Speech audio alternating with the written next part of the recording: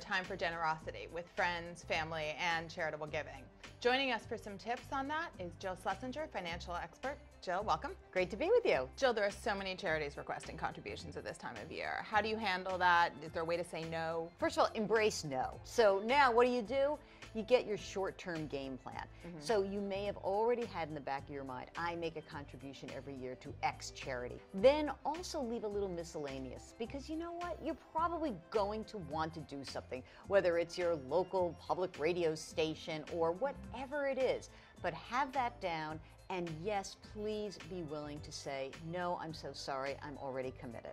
Tell us about tax advantages. Uh, well, what kind of timing matters? Well, the year end is a big deal, the calendar mm -hmm. year end. And what's really important here is that if you make a pledge, it's one thing, but it has to actually have been completed before the year end if you want to get a tax deduction. It's also really important that you give to the type of charity that is actually seen by the government as a charity, a 501c3. Okay, now if you get a donation request, how do you know if a charity is legitimate? Don't give on the phone, okay?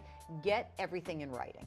Then you can go online and check with Charity Navigator, the Better Business Bureau. You want to see that this is a legitimate charity before you start forking over your money.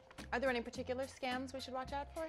Unfortunately, yes. I mean, this is one of these hot issues. We see a lot of scams around police benevolent or firefighters associations, and the most dreadful one that I think is around veterans associations. But the reality is don't just give, do a little work, do a little digging, make sure your dollars are going where you want them to go.